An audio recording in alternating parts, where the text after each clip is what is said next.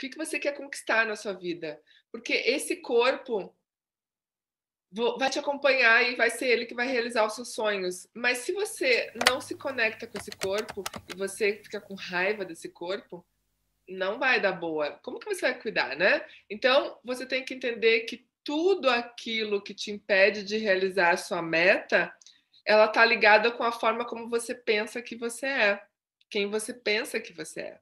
Então, se você acha que é difícil, que não é para você, é o que você pensa sobre você. Aí está ligado com a sua crença de identidade, capacidade e merecimento.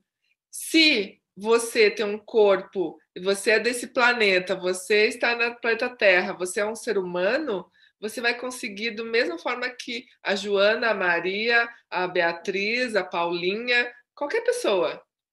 Mas se você não acreditar nisso, se você não entender que está dentro do seu poder, da sua capacidade fazer isso acontecer, você não vai conseguir. Se você acha que é muito esforço, você não vai conseguir, porque exige dedicação.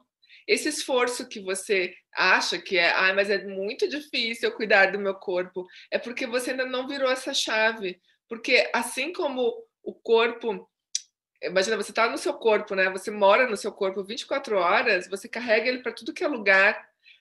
Teria que ser uma coisa mais simples do mundo é cuidar desse corpo, não é verdade? É mais fácil do que cuidar de uma criança que quando você vira mãe, você tem que aprender. Você já tinha que saber lidar com o seu corpo, mas você não sabe.